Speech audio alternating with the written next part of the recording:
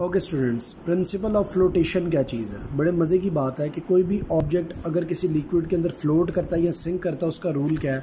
कि अगर up thrust force जो है, ठीक है अप थ्रस्ट फोर्स जो लिक्विड अप अपवर्ड डायरेक्शन में लगा रहा होगा। अप थ्रस्ट फोर्स इस इस फिगर से मैं आपको समझाने की कोशिश करता हूँ ये बैक साइड पर बनी ठीक है, ये देखें। यहाँ पर अब थ्रस्ट फोर्स लग रही है। अगर मैं यहाँ पे कोई भी ऑब्जेक्ट डाल देता हूँ, जैसे लकड़ी का पीस डाल देता हूँ, अगर वो तो सिंक कर जाता है तो उसकी रीज़न ये है कि जो अब थ्रस्ट फोर्स है वो वीक है और उसका वेट ज़्यादा था, इस वजह से वो सिंक कर गया। फ्लोट वो कब करेगा? फ्लोट वो तब करेगा जब अब थ्रस्ट फोर्स ज़्यादा होगी और उसका वेट उसके मुकाबले में कम हो। सो so, यही वो डेफिनेशन कह रहा है जी the floating object displaces a liquid अच्छा ये भी बात याद रखिएगा कि जब आप ये ये जो अपथ्रस्ट फोर्स होती है ये किस कितनी होती है वो अर्शिमेड्स प्रिंसिपल ने हमें बता दिया है कि जब हम कोई भी ऑब्जेक्ट पानी के अंदर डालते हैं तो वो लिक्विड को डिस्प्लेस करता है। डेफिनेट सी बात आप ज़रा देखिएगा आप किसी जग के अंदर बर्फ़ ही डालें तो जग का लेवल वो वाटर लेवल राइज हो जाता नहीं हो जाता। साबित हुआ ना कि लिक्विड के अंदर फ़र्क आया लिक्विड के साइज़ के अंदर फ़र्क आ गया। अगर आपने बर्फ़ डाली और आपने एक हल्का सा पॉइंट बना दिया कि जहाँ से पानी बाहर निकला है, जितना पानी बाहर निकला होगा ना, उस होल में से, ये मैं आपको फिगर बाद में ड्रॉ भी कर दूँगा। ये पहले भी आपको मैंने वैसे अर्शीमेट्स प्रिंसिपल में इस चीज़ को बता दिया है। तो आप ये देखिएगा अर्शीमेट्स प्रिंसिपल में कि जितना वो लिक्विड बाहर निकला होगा ना एग्ज़ाम्पल के तौर पर आप इस फिगर को ले लें। ये देखिए ये वेट उन्होंने क्या किया इसके अंदर? समझ करने लगे और ये फनल बना हुआ है। अभी इधर से वाटर बाहर नहीं निकल रहा। जो ही उसके अंदर उसने इसे डिप किया तो कुछ पानी इसके अंदर आकर कलेक्ट हो गया। ये जितना पानी कलेक्ट हुआ है ना, ठीक है? याद रखिएगा, ये बिल्कुल इक्वल होगा water displaced equal to the weight of the object और अब थ्रस्ट की वैल्यू भी बिल्कुल सेम होगी। A floating object displaces a fluid having a weight equal to the weight of the object आगे बात समझ? तो इन केस ऑफ़ दिस जब फ्लोटिंग ऑब्जेक्ट जो वाटर डिस्प्लेस करता है वो इक्वल होता है तो उस केस में जब अब थ्रस्ट वेट के बराबर हो जाती है तो ऑब्जेक्ट फ्लोट करता है और जब अब थ्रस्ट वेट से लेसर होती है तो वेट वो ऑब्जेक्ट क्या करता है कि वो पानी के अंदर सिंक कर जाता है। इसलिए बहुत री नोड एक एक साइंटिफिक रीज़न आती है आपको। वो आती है बेटा कि why a huge ship float while a small common pin sinks तो उसकी रीज़न भी यही है। देखो जो वो बड़ी होती है ना, क्या कहते हैं शिप बड़ा साइज़ उसका होता है। जैसे ये शिप बनी है, इसका बड़ा सा साइज़ है। तो ये बहुत बड़े एरिया के ऊपर क्या कर रही है, पानी के टकरा रही है। तो हर एक पॉइंट पर अप थ्रस्ट जो है, पानी अपवर्ड डायरेक्शन में लगा रहा है। सो वो इतनी बड़े वेट को क्या कर रहा है बैलेंस कर लेता है। अगर आप पर यूनिट एरिया आप इसको लेंगे ना, इसकी अप थ्रस्ट लेंगे तो अप थ्रस्ट की वैल्यू ज़्यादा होगी वेट की वैल्यू कम होगी। लेकिन स्मॉल कॉम्पिन क्योंकि जब वो आप फेंकते हैं तो वो क्या करती है? वो पानी में बहुत माइन्यूट से एरिया को टच करती है। So per unit area up thrust की वैल्यू क्या होती है? अप थ्रस्ट की वैल्यू वहाँ पर कम होती है और weight of the common pin ज़्यादा होता है और वो सिंक कर जाता है। ठीक है जी? तो इसमें ये up thrust per unit area का भी बहुत बड़ा किरदार है। ठीक है? अब इसमें अगला जो प्रिंसिपल ऑफ़ रोटेशन पढ़ लेते हैं, कहता है जी an object sinks if its weight is greater than the upthrust or acting on it an object floats if the weight of the uh, weight of it is will be equal to equal or less than the up, upthrust whereas when an object floats in a liquid the upthrust acting on it is equals to the weight of the uh, weight in a fluid the upthrust acting on it is equals to the weight of the object sorry दोबारा से पढ़ते हैं an object sinks if its weight is greater than the upthrust acting on it ठीक है जी ये sink तब करता है जब उसका अपना वेट अपथ्रस से ज़्यादा हो और फ्लोट कब करता है? जब उसका वेट या तो बराबर हो थ्रस्ट से या उससे ज़्यादा हो। अपथ्रस्ट के लेवल से। फिर जी, जब एक ऑब्जेक्ट फ्लोट करता है, ठीक है जी the upthrust acting is equal to the weight of the object in case of floating object the object may be partially merge इसका मतलब होता हो सकता है वो हल्का सा अंदर डिप भी कर रहा हो, ठीक है जी? तीन केसेस होते हैं। एक होता है बिल्कुल सरफेस के ऊपर रहना, एक होता है हल्का सा सरफेस के अंदर रह रहा होगा और बाहर रह रहा होगा। उस केस में क्या हो रहा था, वो जो हल्का सा अंदर डिप हुआ है, इसका मतलब ये है कि वहाँ पर वेट और अपथ्रस तकरीबन बराबर होने की कोशिश कर रही है। फिर आगे, और लकड़ी की देख लें, मिसाल के लकड़ी को अगर आप लंबे रुख पर रखेंगे तो वो फ्लोट करेगी, और अगर आप वर्टिकल पोजीशन में पानी के अंदर डालेंगे तो वो सिंक कर जाएगी। क्योंकि पर यूनिट एरिया जो अब थ्रस्ट है, वो वीक है वर्टिकल पोजीशन में as compare to flat position तो ये बाकी शिप्स एंड मेरीन के अंदर हम टॉपिक के अंदर भी ये चीज़ें पढ़ने लगे फिर है जी a wooden block floats on water it is because the weight of an equal volume of water is greater than the weight of the block फिर है जी according to the principle of flotation a body floats if it displaces water equal to the weight of the body when it is completely immersed in a in water. फिर है जी, ships and boats are designed on such a principle of flotation. They carry passengers and good goods over water. It would sink in water if its weight including the weight of the passenger and goods become greater than the upthrust of water. इसीलिए अक्सर कहते हैं ना अगर कश्ती में सुराख हो जाए तो वो डूब जाती है वो क्यों डूबती है उसकी वजह ये नहीं होती वजह ये होती है कि जब सुराख अब कर देते हैं तो पानी अंदर आना शुरू हो जाता है पानी अंदर आता है तो शिप का वज़न आहिस्ता आहिस्ता बढ़ना शुरू हो जाता है।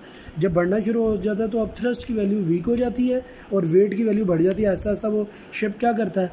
वो टाइटानिक की तरह डूब जाता है। फिर है जी submarine can travel over as well as under water अब सब मेरीन का क्या प्रिंसिपल होता है? उसमें यही होता है। इसके नीचे ये सब मेरीन है। इसके नीचे क्या किया जाता है? ये बड़े ये वॉर फेयर्स में इस्तेमाल की जाती है और सब मेरीन्स में क्या किया जाता है कि इसका जो बॉटम होता है ना, इसके अंदर टैंक्स बनाए जाते हैं। जिनको क्या किया जाता है, जो पानी को स्टोर कर सकते हैं एक सर्टेन लिमिट तक, ठीक है जी? उन टैंक्स को ओपन कर दिया जाता है तो क्या करते हैं जी, जो समंदर का पानी होता है वो, उस टैंक के अंदर जाना शुरू हो जाता है। टैंक के अंदर जाता है वेट बढ़ जाता है तो वो क्या करती है सब मेरीन सब मेरीन नीचे पानी के अंदर छुप जाती है और मूव करना शुरू कर देती है। वॉर्स के अंदर इसे इसीलिए यूज़ किया जाता है कि दुश्मन को सब मेरी नज़र भी ना आए और जनाब अली उसका जो है ना वो आ, काम भी हो जाए यानी कि आप अब दुश्मन के बिल्कुल नियर अर पहुँच जाए। तो अब देखिए बहुत सारे रेडार सिस्टम पानी के अंदर भी लगा दिए गए हैं। ताकि कोई मूविंग ऑब्जेक्ट मिले तो उन्हें पता लग जाए कि सब मेरीन हम पे अटैक करिए। पाकिस्तान ने सब मेरीन की मदद से 1965 की वॉर के अंदर बहुत ज़्यादा नुकसान इंडिया को पहुँचाया था। ठीक है जी? और एक और बात इसमें आप सब मेरीन्स में ये भी देख लें कि ये दोबारा से आप इन्हें टॉप पे लेकर आना चाहते हैं तो अंदर बड़े बड़े जो है ना, वो फैंस लगाए जाते हैं, जो उस पानी को क्या करते हैं, उस पानी को बाहर निकाल देते हैं मोटर्स लगाई जाती हैं। जब वो पानी बाहर निकल जाता है तो वेट कम हो जाता है दोबारा से सब मेरीन को और दोबारा से सब मेरीन पानी के ऊपर आ जाती है। आगे ज़रा देखिएगा, कहता है, जी submarine can travel over as well as under the water it also work on the principle of flotation कहते जी it floats over water when the weight of the water equal to the volume is greater than its weight यानी कि जी, कहने का मतलब ये है कि ये तब फ्लोट करती है जब जो वेट ऑफ़ वाटर यानी कि जो when the weight of water equal to the volume equal to the volume तो वो ये बता रहा है, जी कहता है, जी, ये तब फ्लोट करती है पानी के ऊपर जब उसका जो पानी का वज़न है, ठीक है जी equal to its volume is greater than its weight यानी कि जब पानी का जो वॉल्यूम है, पानी का यानी जो वेट है, वो उसके अपने वेट से क्या होता है? बड़ा होता है। यानी कि नीचे से अब थ्रस्ट ज़्यादा होती है और वेट ऑफ़ दी सबमेरीन क्या होता है जी? वो कम होता है। फिर जी under this condition it is similar to a ship and remain partially above the water level it has a system of tanks which can be filled with sea water ये अक्सर paper में आ जाता है हाउ सब मेरीन वर्क्स तो आपने उसमें ये लिखना होगा। When this tanks are filled with sea water ठीक है जी submarine increases as soon as its weight becomes greater than the upthrust it dives into the water and remains under the water फिर है जी to come up on the surface the tanks are emptied by forcing air into them ठीक है जी? हवा तेज़ी से उसके अंदर गुजारे, डाली जाती है by the help of heavy power type powered आप कहेंगे जी मोटर्स तो जब हवा का प्रेशर लगता है तो पानी क्या करता है? वो फ़ौरन से पहले उन टैंक्स में से बाहर निकल जाता है। तो दोबारा से लाइट हो जाती है सबमेरीन और वो दोबारा से ऊपर आ जाती है। तो फ़ायदा क्या होता है सबमेरीन अंदर चली जाती है। बाहर अगर आपने इसके कोई ए, वो लगाए हो बड़े बड़े हैवी लेंस लगाए हो या बड़े बड़े आपने कैमराज लगाए हो तो आप दुश्मन की मूवमेंट को तलाश कर सकते हैं। पहले से देख सकते हैं अगर कोई शिप्स आपकी तरफ़ आ रही हैं आपके बॉर्डर की तरफ़ तो आप उसको ऑब्ज़र्व कर सकते हैं। सो so, आज भी ये वॉर के अंदर जो है बड़ा एक डेविस्टेटिंग किस्म का टूल है कि जिसका आगे जो आपका दुश्मन है उसको नज़र भी नहीं आता कि अटैक आ रहा है आपकी तरफ़। एक पूरी एक आर्मी आ रही है अंडर दी वाटर और इसको हैंडल करना भी इतना आसान नहीं है अंडर दी वाटर ठीक है जी? सो so, तो इसका सर्वेलेंस का जो पर्पज़ है ना सबसे ज़्यादा और फिर इसको फिर वॉरफेयर पर्पज़ के लिए भी प्रॉपर तरीके से सब सबमरीन्स को इस्तेमाल किया जाता है। और अब तो सब सबमरीन्स को इसलिए भी इस्तेमाल किया जा रहा है कि आप इक्वेटिक लाइफ को मतलब meters and thousand of meters below देख सकें ओशंस के अंदर और क्या कहते हैं, ये जो आपके रिवर्स हैं ओशंस हैं, इन तमाम के अंदर देखा जा सके कि लाइफ किस तरीके से सेटल डाउन है अंडर दी वाटर तो it is very important topic अक्सर आ जाता है हाउ सब मेरीन वर्क्स तो ये रीज़न आपके सामने आ चुकी है। आगे बात समझ तो वो यही कह रहे जी कि सबसे बाद, तब तक ये फ्लोट करती है जब weight of the water displace जो है, वो जनाब अली, उसका जो वॉल्यूम है, वो ग्रेटर होता है as compare to the weight of the submarine तब तक ये क्या करती है फ्लोट करती है और जब वो रेशो जो है वो डिक्रीज़ कर जाती है, अब थ्रस्ट डिक्रीज़ कर जाती है तो ऑब्जेक्ट क्या कर जाता है सेंक कर जाता है. ठीक है जी? सबमरीन फिर अंदर डाइव करके अंडर वाटर चली जाती है।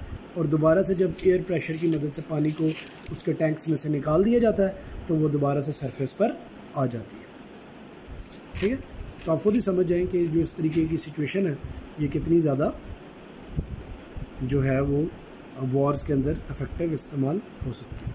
Thank you so much students तो हमने आज के दो टॉपिक पढ़ लिए that is principle of flotation and how submarine works तो नेक्स्ट जो टॉपिक होंगे, वो आपके इलास्टिसिटी से रिलेटेड है हुक्स लॉ से रिलेटेड है तो ये एक ही बारी, एक ही बारी में कवर हो जाएँगे। ये टॉपिक आपको सेंड करने का सिर्फ़ मकसद ये था थ्रू वीडियो आपको बोर्ड पे नहीं समझाया कि this these two topics are highly theoretical तो ये बीच में जो एग्जांपल्स आ रही होती है ना, इनको आप ज़रूर देख लिया करें, ताकि आपको साथ साथ एग्ज़ाम्पल्स की भी नो हाउ हो जाए कि कैसे एग्ज़ाम्पल्स को हल किया जा रहा है।